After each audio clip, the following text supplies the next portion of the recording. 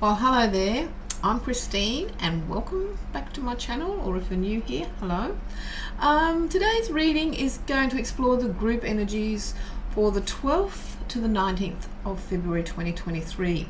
And I just wanted to do a quick astrological update on one or two main things is that Mercury met up with Pluto briefly as it was exiting Capricorn uh, the other day, um, and that can sort of bring a lot of tensions. And some of these energies are felt quite a little while either side. It's not just set your watch by it and then, well, I'm glad that's over. So um, just sort of be kind to yourself. Um, and then Mercury um, will join oh, well, has joined now because it's the 12th, isn't it?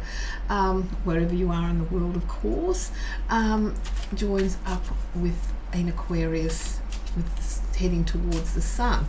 So as I speak today, the moon is in Scorpio and it's waning moon and it's a third quarter moon or often called the last quarter moon, which gives off an energy of letting go, um, clearing out debris that's been hanging on, um, letting go of all that sort of stuff that's been stirred up and unsettled still within you. Um, if it's okay and you're just sitting here watching me, why not take a deep breath in and relax? Because now is the time to take one more deeper breath and just as you breathe out, let go of any of the energies of frustration and debris that could be just still hanging around you energetically within or without from any negative any debris frustrations from negative experiences and attitudes and fiery arguments and oh as you breathe out we can just let go of all that negative shiz. And as we take a moment to breathe in we can breathe in energy and light that is positive that can allow our inner garden to flourish in the way that we would like it to.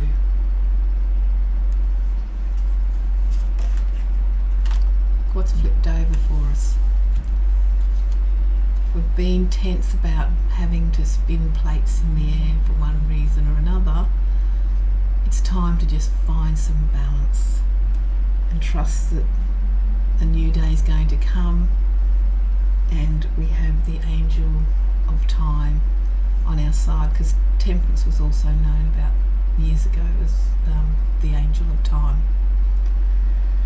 So just getting that balance right is what it's all about.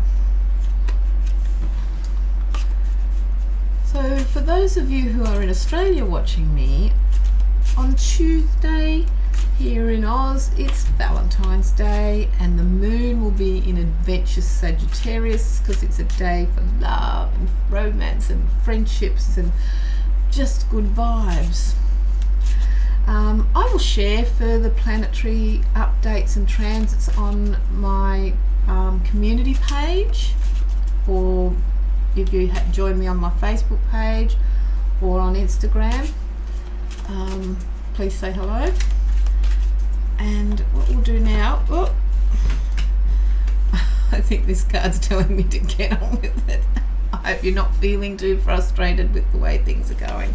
So we're going to pull some cards for the week and then we'll look at a few tea leaf cards. So let's look at the energy for the week.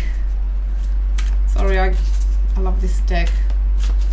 It's a Conrad Steyn deck I've had a lot of people ask me about it, so I'll put it in the notes. So here we have the cards.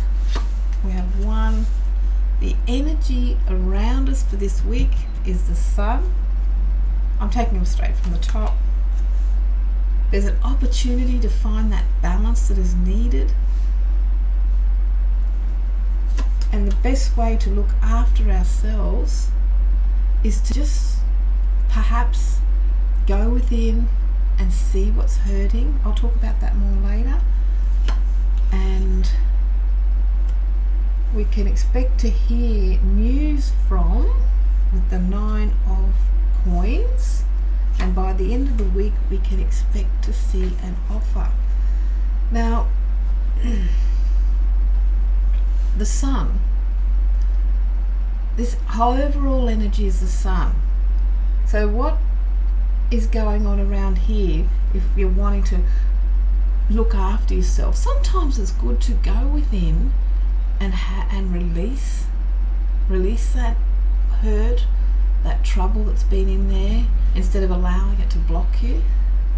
And whilst that can be difficult to face that aspect of yourself that part of you that may not want to let go or that part of you that's still hurting and holding on it might be just the time to do what you need to do to release to release that. And because we have the overall energy of the sun, and we go from the sun to the Knight of Cups, overall it's a, it's a pretty good week for us. We also have an opportunity to be able to help someone else.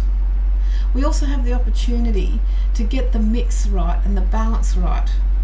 We also have an opportunity to experiment with some stuff and try something new. There's also an opportunity to socialize as well. I talked about the best way to look after yourself is perhaps spend that little bit of time and go within to that pain and look at that part of you that's in pain.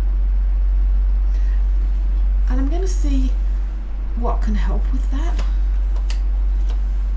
And that is once you've gone in to the pain and acknowledged that part of yourself and been gotten in touch with that part of yourself, be kind to that part of yourself and thank that part of you that is hurting because it's letting you know that um, it's protecting you in one way and we and you want to be able to let that part of you come together and join with all the other positive parts.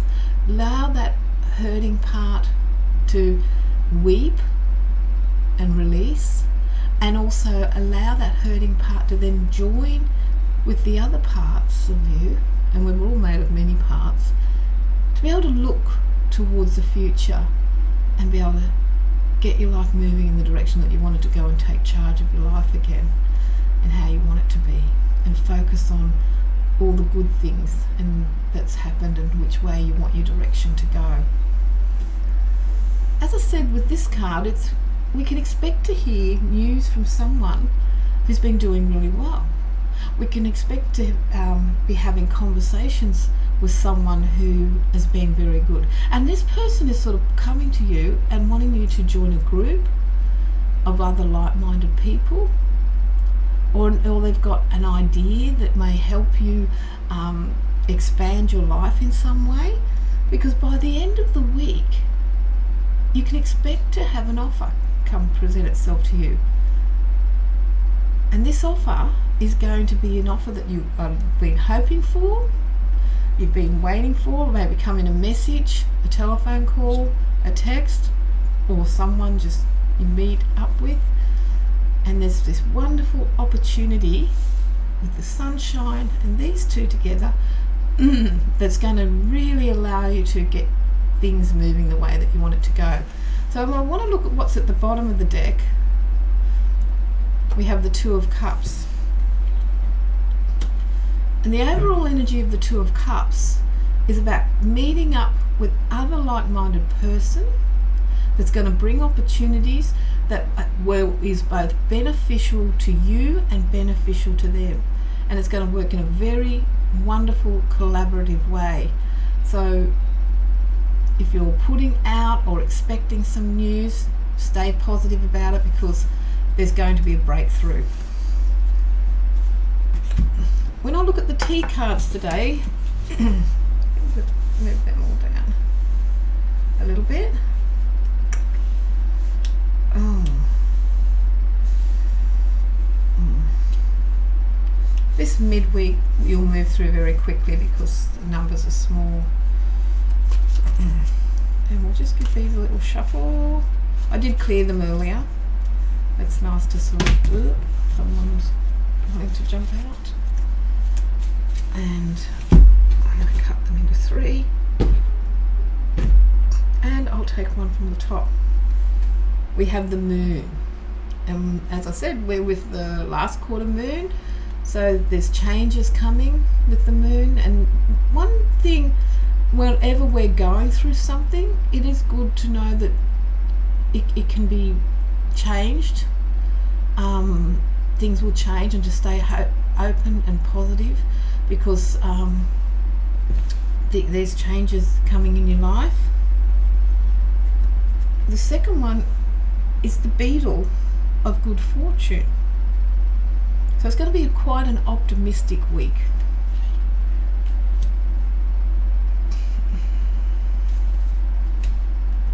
And there's also someone leaving your life with the chair. I just might do one more. New home, new broom, new attitude.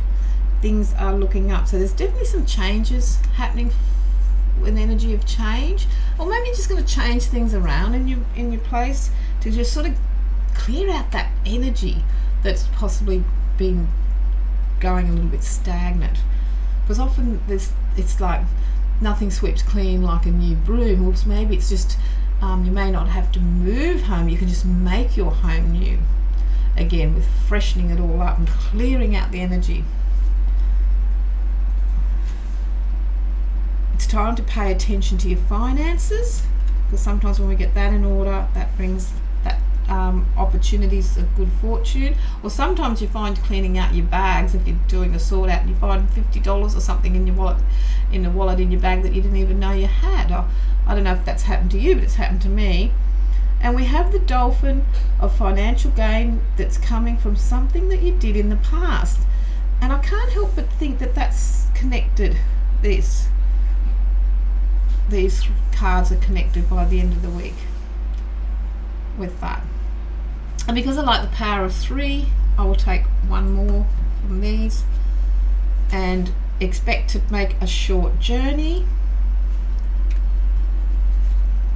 and I took two there. So we have happiness and well-being with the sun. So a lot of the themes are getting repeated this week. So I think it's going to be quite an optimistic week for us all. And it's time to just go out and have some fun um, with that. So I'd like to thank you for watching and I hope you enjoy the cards. Um, let me know if it resonates with you. Um, I'd like to hear your feedback and if there's any sort of questions you'd like to ask let me know and I'll do my best to answer it. So thanks for watching once again and I look forward to seeing you on the next video. Bye for now